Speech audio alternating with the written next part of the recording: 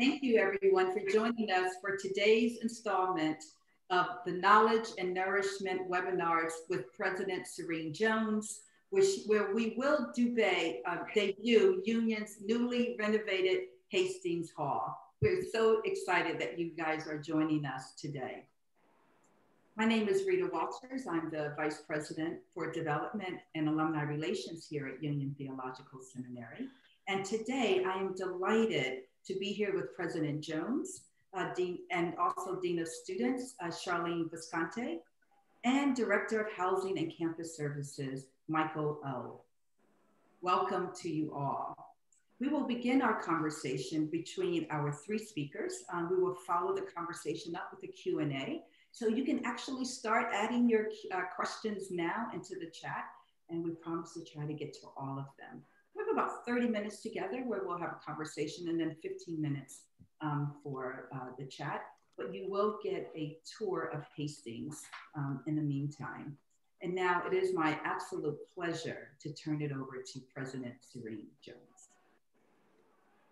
Hello, everyone. I'm so happy to be talking to you today. Um, a special thanks to uh, Rita for all the work that went into this, uh, to Michael O and to Charlene. Um, we're doing an experiment. Uh, Union is uh, working remotely and we are all uh, wearing masks. Mine is right behind me because I'm the only person in the Bonhoeffer room right now, which at the end of the show, I will show you what it looks like in its remodeled form. But it's really exciting to let you see what has been created over this past year in Hastings with so much input from uh, students and faculty, the people who will be living here. Special thanks to Mike Maloney, who oversaw so much of the work that went in and all of the details. Um, an update on Union right now, we have about uh, 55 students living on campus. Um, that is nowhere near um, our optimal size for residents, but it does mean that during COVID, while we teach remotely, um, we have students now living in Hastings but with enough social distance that they can isolate or quarantine should that be necessary. And boy, oh boy, do they have beautiful quarters to be in. So I'm going to begin by showing you a slideshow. Um, so I don't have to walk through the halls um, of the different parts of Hastings.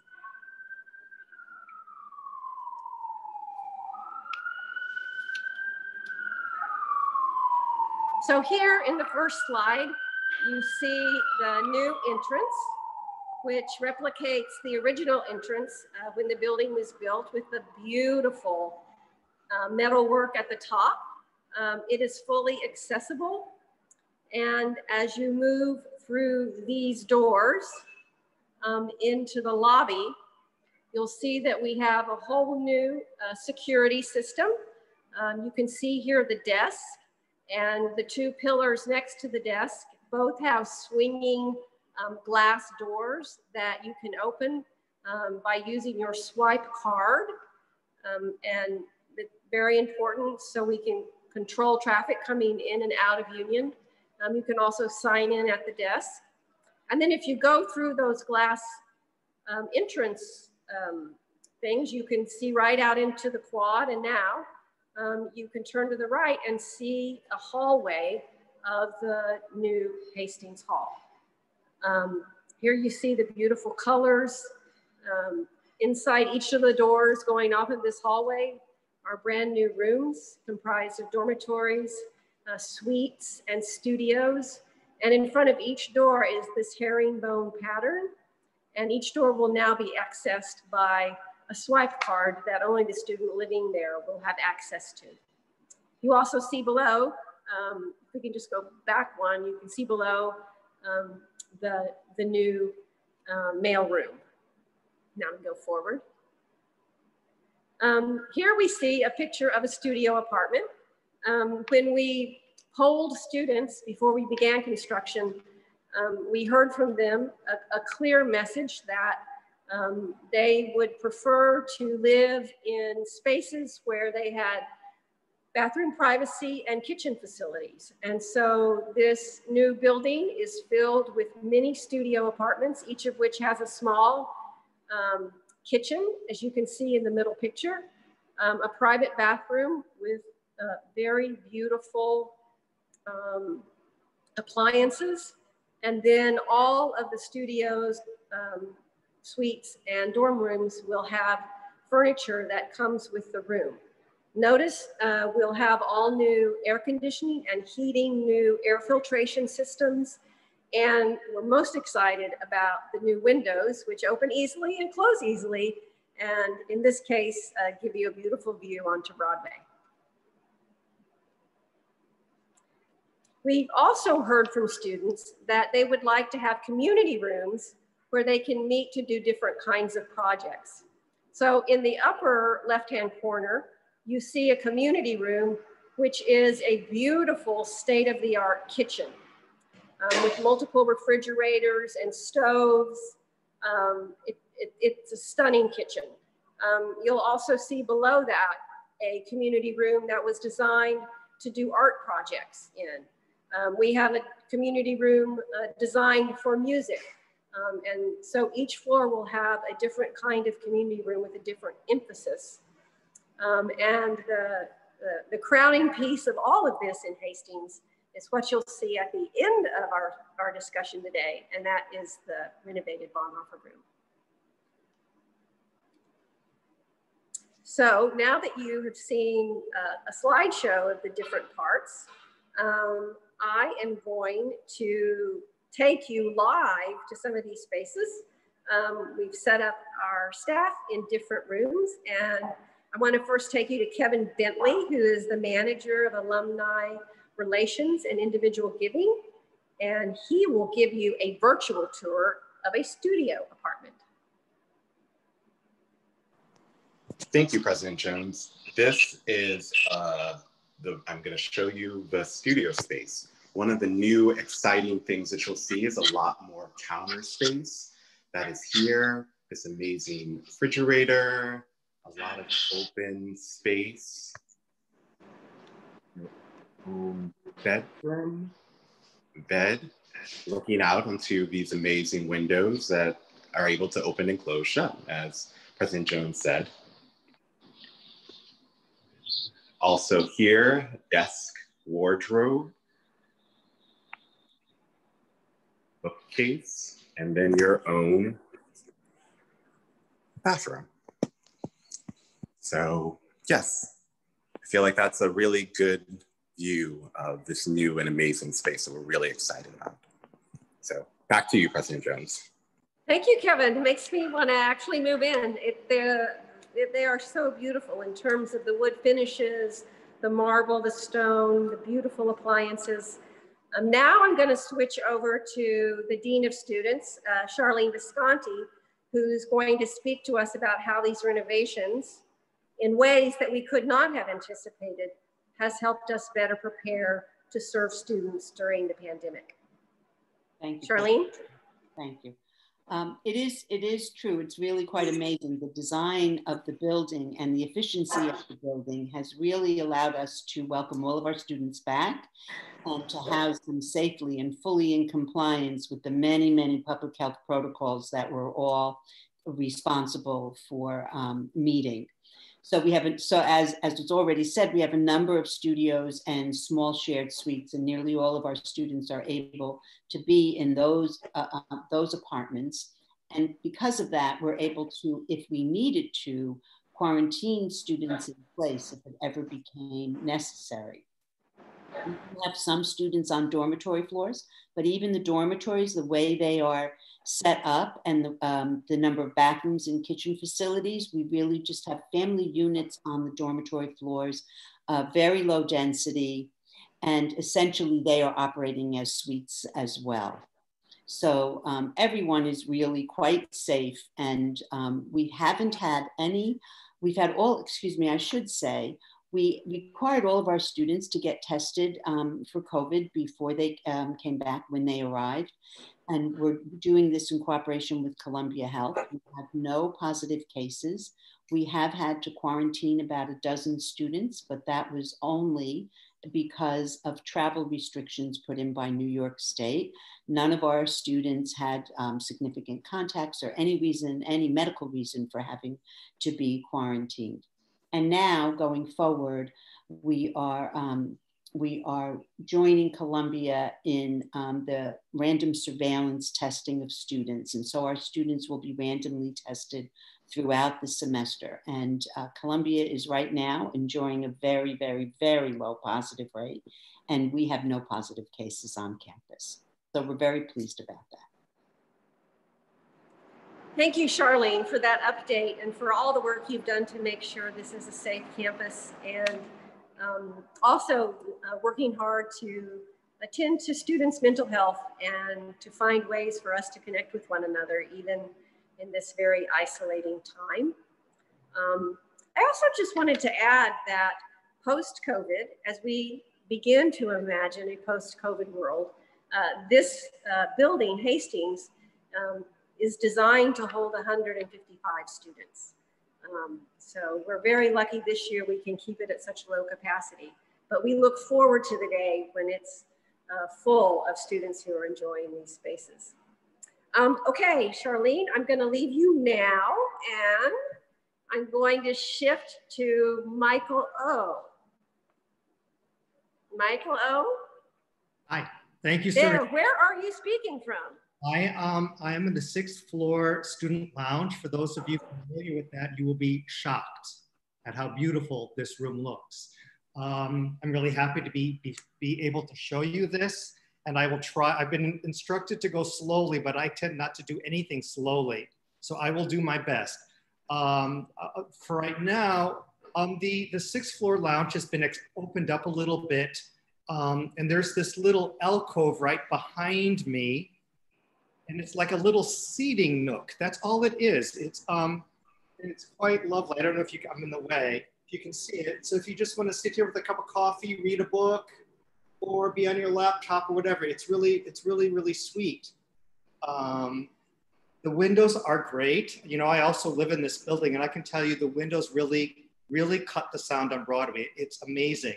Uh, I've got I've got the windows open right now because just to have airflow. So it's you, it's going to sound loud, but they work amazing. It, it's just, it's great. And um, I you, let me see, let me do this. Okay. So here, this, there are two, there are two workstations in this um, room right now. And so there's a complete kitchen, um, refrigerator, uh, stove, sink, um, cabinets on one side, and then are you all seeing this? If you go, there's another one on the other side with this huge island in the middle. So right now, I only have two student couples on this entire floor. This floor that holds, that has like 32 rooms. There are only two rooms in use so that each couple has their own kitchen. That is how safe we are being. And you know, I mean, the, the one great thing about this pandemic is that people will never live this well in this building again, students. So at least your quality of life right now is fantastic in this building. If you go back here, there are these little, um, these little cabinets here for students to have individual storage. Uh, can you see that? Yeah, there you go. It's, and it's so beautiful. And then there are two more refrigerators back here in this nook. Um, I'm going too fast, right? I make you all motion sick, I apologize. So that's the hallway. And we're gonna go around here. I'm gonna go forward. Here is the um, kitchen again, the, other, the other kitchen. And then this big, big island. You can see all the windows. It's just, it's a fantastic room. Um, you can keep social distance. You can easily have people in here. And what we we hope I've got, um, you can see up here helping me for moral support is one of our SLAs, Lucas Strada. and you go here, and if I, as I go towards him, um, that's where we have the windows open because I don't have a mask on, but he does. You can see we have this beautiful furniture. There is a little, let's see, where are we here? There's a counter here with these stools. Uh, the flooring is beautiful everything is just really, really really nice. And, um, and a lot of sunlight. You can see there are the students here already growing plants on the windows. So um, it's just really um, a wonderful way, I think, to live and to live in the city. And we're really excited um, with this renovation. Thank you, Michael O. And also thank you for all of the energy and time and planning that you put in to this renovation and to making all of the student housing at Union safe and uh, helping all of the students move in and move out as they did last spring. Um, it's quite a task and you've done it with such great uh, love and care. We're very thankful for that. Um, and now we're going to turn to uh, the last room, and that's the room that I am sitting in. Um, I am sitting on a beautiful new couch um, in the renovated Bonhoeffer room. Um, as many of you know, this is the room that when Dietrich Bonhoeffer was at Union, uh, his, um, it was divided into different segments and his desk was in here. This was where he studied. Um, we used to have a lot of um, archives of Bonhoeffer in this room. Those have now been moved to the Stewart room and the Bonhoeffer room has become a beautiful student lounge. Um, it has been designed to allow for everything from doing yoga at one end of the room um, to uh, sitting at uh, tables and studying at the other end of the room or sitting right where I am right now and watching uh, the presidential debates tonight. If the television was there, it's not there yet. But um, we're very excited about this being a major gathering space uh, for union students. The furniture is lovely um, and the spirit and history of this room still resonates. Um, I also want to just take a moment and say thank you again um, to all of the donors who participated in the renovation in 1988 um, of Hastings Hall. Um, we've built upon those renovations and couldn't have done this uh, today um, without that support. Um, and for all those who have been a part of the creation of this amazing um, entire building uh, centered around healthy, ecologically conscious, community oriented, and study centered living space. It's remarkable. So I'm going to turn it over to Rita now, um, who will open it up for uh, questions and conversation. Great, thank you, Serene. I'm going to give a little bit of a tour. If I can just turn it just a bit here. Just bear with me for a moment. I'm going to turn the camera around and see. Great, I'm gonna just back up really slowly so you guys can really get a look at the room from a distance. So you'll see Serene fading out of the camera. but here. Just backing up. So here's the table that Serene was just mentioning. Um, and the fixtures are absolutely beautiful and the couch is just incredible. I'm to turn just a little bit to see that to try not to make anyone dizzy.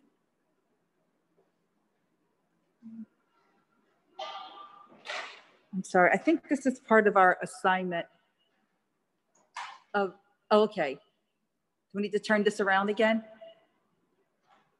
Okay. Okay, I think gonna need some help here. Voila, okay, does that, Ah, okay. So, okay. So you guys by now understand that I'm not a photographer. So thank you, Kevin. Okay. So now I think you're seeing exactly what you should be seeing. This is the part of the job that's other duties as assigned. Okay.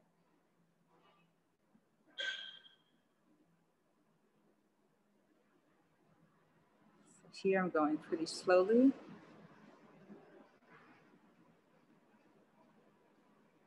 So again, as we're waiting and you're watching this, just go ahead and add some questions to the chat. I'm to show you the window now and the view. There's construction right outside of our window. You may actually hear some of that now.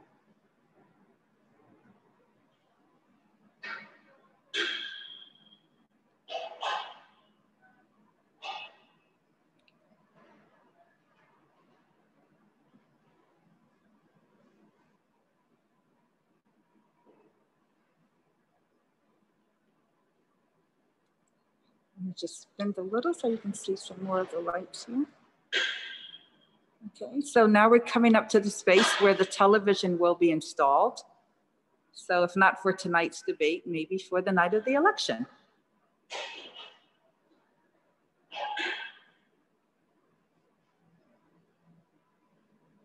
Now we're back and there's Serene and there's that wonderful couch she's sitting on. Thank you guys. And thank you again, Kevin, for helping me out here. I'm going to turn this back over to Serena and then we're going to get right to your questions.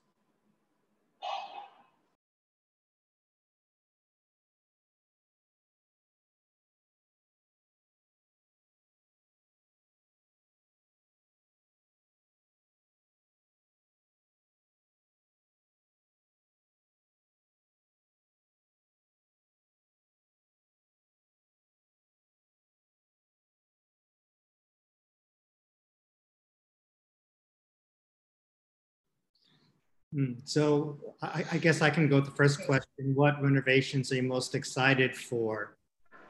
I mean, hmm, pick something out. I think it's the windows. For me, it's the windows.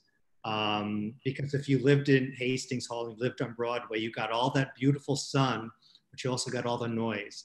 And um, the windows are just such a, the new windows are just such a great addition to this. And they look great on the inside and on the outside too. So that's what I would say, the windows. So, do you want to answer that same question? What are you most excited for? Um, I'm most excited about the park that we're not even looking at today, but in the basement of this building is all of the mechanical systems for the entire campus. And for anyone who's been down there, it's like a dungeon um, with equipment that's been there for over 110 years.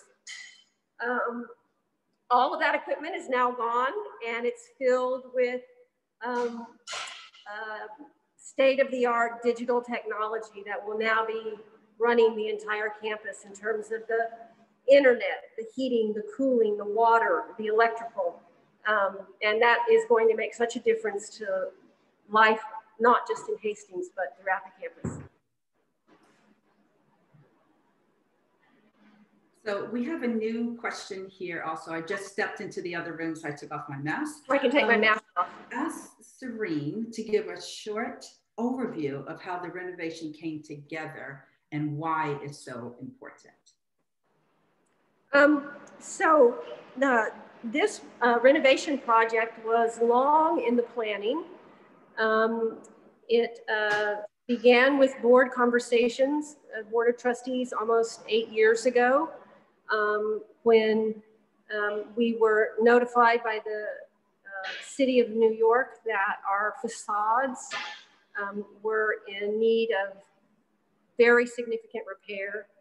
Um, we investigated the facades of Union and then did a thorough overview of all of the campus facilities and found that uh, we really reached a breaking point with respect to the inhabitability of the campus.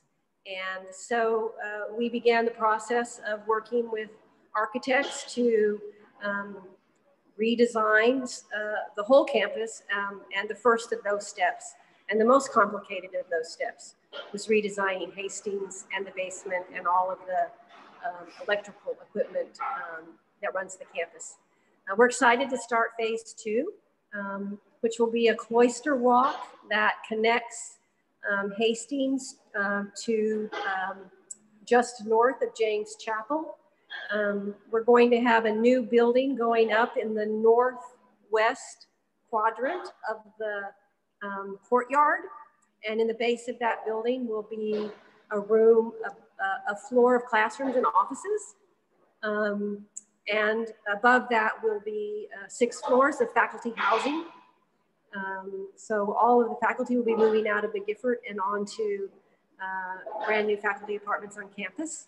Um, if you turn the corner from the cloister walk and go under James Chapel, um, what we call the undercroft of James Chapel, um, we'll have a new a small chapel, um, a dining hall, um, and a kitchen. Um, and then you'll turn the corner again for those of you who are here. And we're still in the process of building out the design uh, for Auburn and admin, which will be the last piece of the design process. Thank you. Thank you, Serena. We have another question here from Michael who is asking, what was the result of changing building where Lampman Chapel was? So what was the result of changing the building, I think he meant here, where the Lampman Chapel was? I can't, I, I, I can't hear. Can you say that again? Sure. Uh, what was the result of, the, of changing buildings or building where Lampman Chapel was? So um, we had a wonderful, very powerful, and poignant um, decommissioning service for Lampman Chapel, uh, which has been important to so many generation of Union students. Um, we had that uh, two years ago, and we took uh, many pieces of Lampman Chapel um, including the stained glass windows, and moved them to those two classrooms um, that you have to sort of step down to off of the area that's called the pit. So we now have um, a very small version of Lampman Chapel um, that um, doesn't compare to the chapel in its glory. Um, but we still have to go in the renovation, the construction of a new small chapel in which these windows will be present, in which uh, many of the architectural elements in Lampman will be present, uh, but will also be an updated space conducive to today's worship. I mean, right now, one, one last thing, right now, it's a very strange thing because we're remote. And so um, most of the time, James Chapel and the uh, provisional uh, Lampman Chapel are sadly empty uh, because the campus is, is, is in shutdown. Thank you, Susan. Uh, Michael, question for you. I know that most of our students are um, remote, um, as Serene has mentioned, but you still are doing things to build community for those students who are on campus. Can you talk a little bit about that and exactly what's happening today? It's Thursday. Sure, right. Today is community lunch. Um, so what's going on right now? Um, and we're having it, uh, if those of you remember the terrace behind um, Admin 116 uh, was underused and it's not underused now. That is our, our, our, main space to gather outdoors safely. We put up lights and we're going to, um, there are a lot of tables and chairs out there safely, six feet apart. And uh, we're, we're having um, those large heat, heating elements installed so to meet when the weather gets colder. So we're doing that.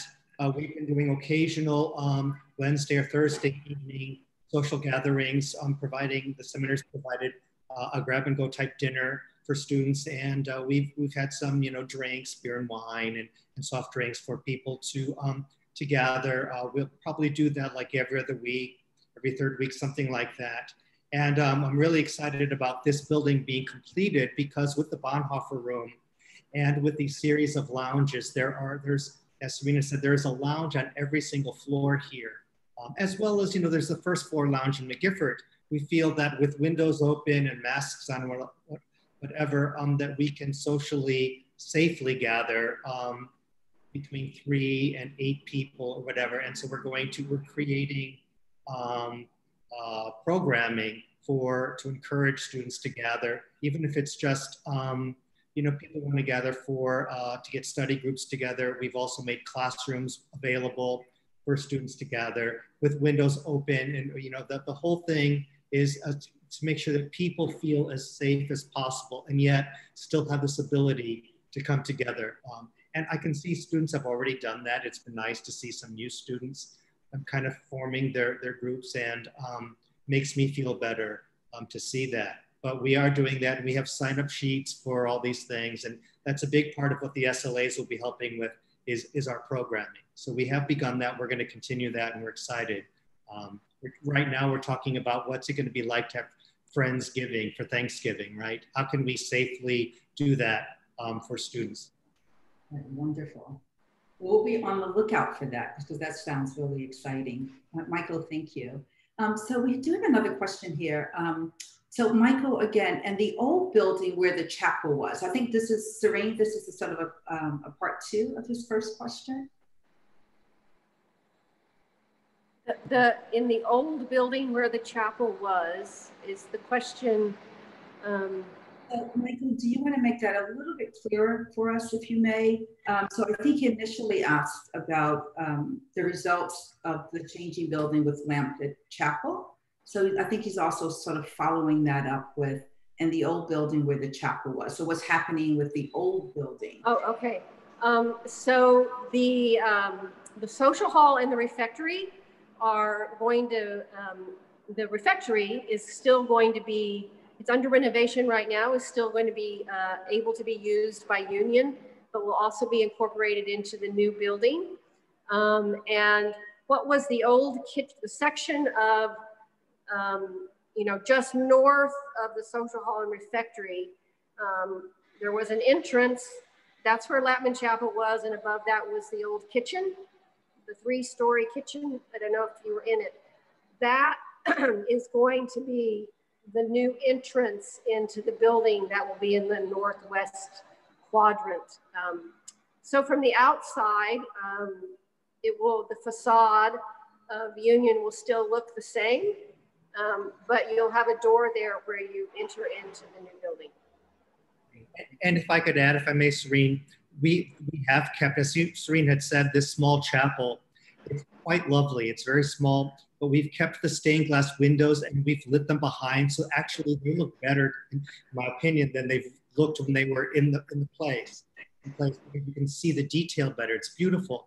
And we've also kept the lamps that were hanging in there and they're also installed in this small chapel. Um, so it's, it's actually, it's not Lampman Chapel, but it's really a, a lovely space that has respected its past, I, in my opinion. So quite lovely. And you, if you have a chance to ever come here, you should see it while it's there.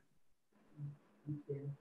Thank you. Charlene, um, there's been talk on the news and other places about a possible second wave of COVID. How are you preparing our students and our community in the event of a second wave? And if you want to answer as well as Michael. It's, it's a very good question. Um, so I think that all of us, the way we can be prepared um, is to follow the public health protocols, right? And so we are now asking students to attest to their health every day. People have to complete a, the community compact and, a, and a, a, learning module about social distancing so that they can enter the campus and use the campus and enter the residence hall as well. Um, I think that the, um, the best way to do this is with student ambassadors ambassadors. Um, we're not being punitive about this. We have found that our students actually are amazingly compliant um, in follow and caring for themselves and for each other around these protocols. And um, we're uh, just now, just this week, I started um, looking into some uh, additional training for our students that we can do through Columbia Health so that they learn more about all of the issues um, around COVID and how they can keep themselves safe. Um, I think everyone should also know that all of, um, you may not be aware that all of the universities, and including Union, have to report daily to the Department of Health. So um, we're able to see um, exactly what's going on in our community. And um, I believe, um, I feel very strongly that if there is an uptick, um, we will be able to put the right protocols in place to, um, to either to alleviate it or tamp it down. So we still meet regularly within the community and all of our affiliates weekly actually, and all of this information is reviewed. So I guess the short answer is monitoring monitoring. As long as we continue to monitor and as long as our students stay as um, caring and compliant as they are, I think we will weather this um, second wave. I really do. Yeah, and I would just add that we have um, taken that into account in how we've how we've assigned housing to students here on campus. In that everyone, it, it's you know the, the fear is that people are too isolated, right? is that everybody that's in a two room suite, unless they're a couple, there's only one person in that two room suite. Um, so most people are either in a two room suite where there's only one person in the bathroom and kitchen or in a studio where they're by themselves, their own bathroom and kitchen. And the dorm floors, as I've already said, on the sixth floor, there are only two couples here. So out of 32 rooms, there are four people. Each couple has their own bathroom. Um, and that goes um, the same in McGiffert, where the density on the um, dorm floors is very low. And then everybody else, most people are in, are in one bedroom apartments in the studios in McGiffert Hall. So we feel that if, if we're prepared um, that if we have to quarantine people, most be, almost everybody can stay right where they are in quarantine, and then we're here to help um, to help make sure that you know they get deliveries to them, and and we still have the food pantry, and we've started now once a month providing fresh fruit and vegetables. Um, we just had that last week, so I, I believe we have a system in place that will keep people as safe as we possibly can control. Wonderful, thank you. And this here, I think the panelists and the attendees have had a chance to read this, but in case you have not, um, this is from Kristen. One of our classmates was given permission to very safely play the piano in James Memorial Chapel for our first year online chapel service Tuesday. And it was so, so special, even from a distance we can't wait to be on campus next academic year. Mm. I think that really is really the sentiment, how all of us feel, Kristen. So thank you so much um, for really voicing that um, on behalf of all of us here in this community. It really is exciting. So many wonderful things are continuing to happen, both on site as well as online. Um, Serene, do you want to give a little bit of a, we have a few minutes left, about one or two minutes. Um, do you want to give a little bit of an overview and update, um, sort of adding to uh, Kirsten's um, statement? Um, I'm actually having a hard time hearing uh, because of all the construction that's going on for the rest of the campus renovation. Um, right. but I think you asked me if I had any final words. Yeah. Um, I just want to thank everyone for being with us today.